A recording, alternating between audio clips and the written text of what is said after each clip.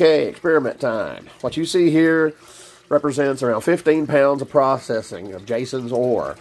Okay, this is the ferrous material, assuming to be pyrite. Okay, we're going to put this stuff in the uh, uh, in the oven. Going to dry it out. We're going to lay the nitric acid to it. We're going to see if gold is locked up in this material.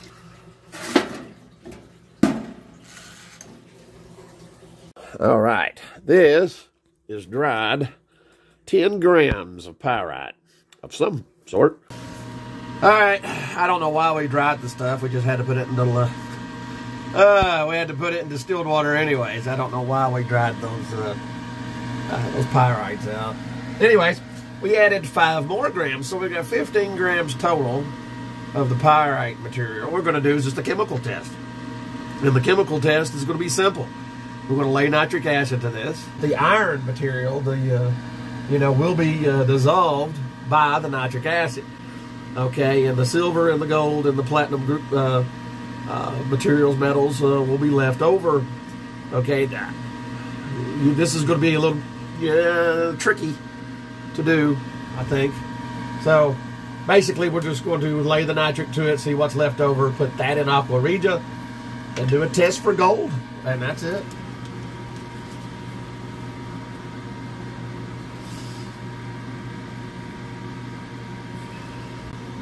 All right, there. A while ago, the white precipitate had me puzzled, and uh, uh, nitric is uh, uh producing some uh, extreme nitrogen dioxide gas production, which I expected. Now that it's probably interacting with the iron more than anything, but the white precipitate came and went. Almost had like a pink hue there when I added the nitric. All this is very small scale stuff, so that you know it's not dangerous unless you had your face right over it, but you have to be careful when you do this. You don't know what's in those. Uh, uh I had asked uh, someone from uh, uh, uh, Mount Baker Mining Metals, I think. I keep getting the metals and the minerals mixed up. I mean, no disrespect. If anybody from there is watching these videos, which I highly doubt, but I asked the question if there was any arsenic or cadmium or nickel uh, any of those products in their ore, and they had no knowledge that there was any, any of those chemicals present. But you could have all kinds of nasty stuff, okay, in, uh, in gold ore. So be very careful if you do experiments like this. All right, really interesting uh, little deal here. Now, this is, if you can see that,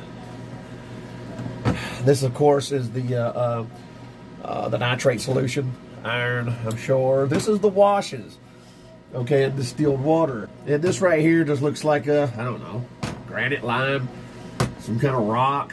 Who knows what's in that? Okay, there's definitely going to be some nasties in there. Okay, probably a little bit of arsenic. Uh, who knows what's in that? Uh, some nickel, cadmium, copper. Well, copper's gone. I don't know if nickel's dissolved with uh, uh, nitric acid or not. Cadmium, I have no idea. But I know gold isn't. So we're going to test, uh, put this in aqua regia. And I'm going to try to put this in aqua regia because it's so dense. I highly doubt that is gold. This is the finely divided material that uh, came off the wash. That really intrigued me. I don't expect any positive uh, uh, results to be honest with you.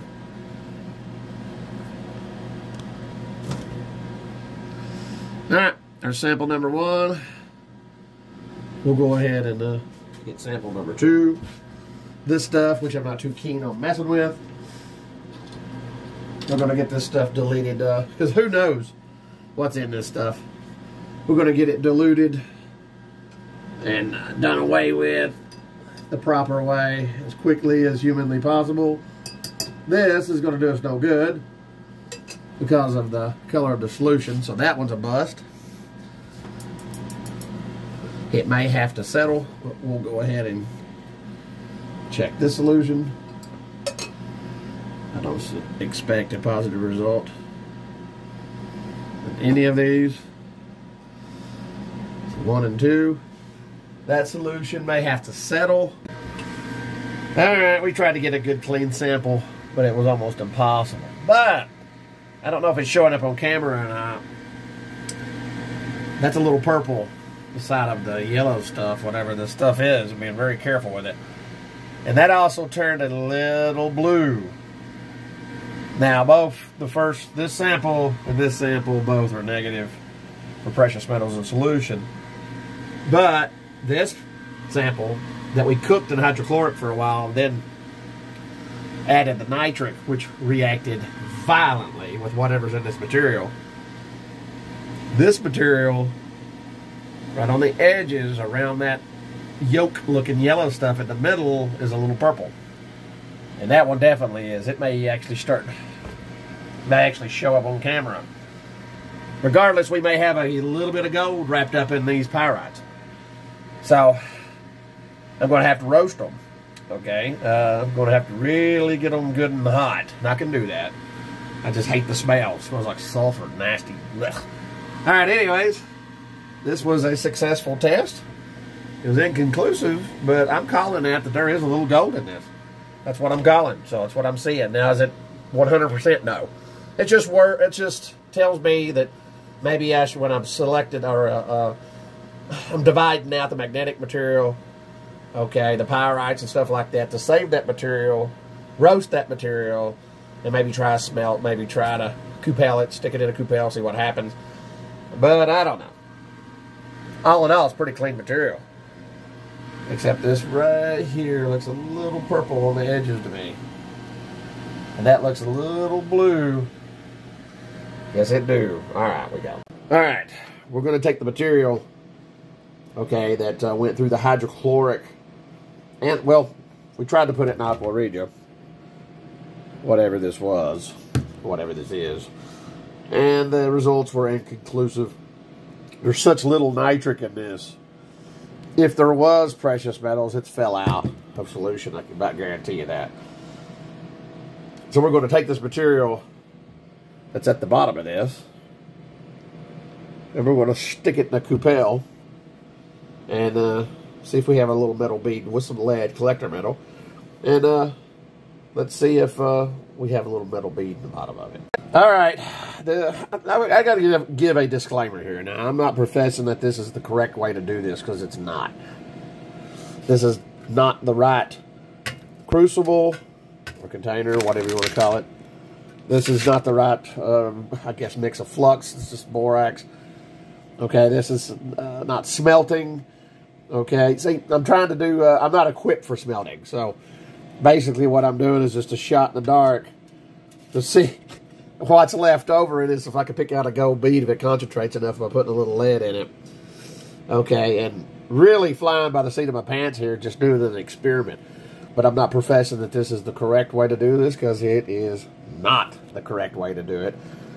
Basically, it's half entertainment and half just my curiosity to see what's what's in there once I'm done. Do I expect all this to be gone and a little bead in the center? No, absolutely not. I expect a big garbled mess some of it to be gone, but maybe seeing some maybe evidence of gold beads floating around, maybe. Basically, uh, I don't expect to see anything but a big garbled up mess in here. That's honestly what I expect to see.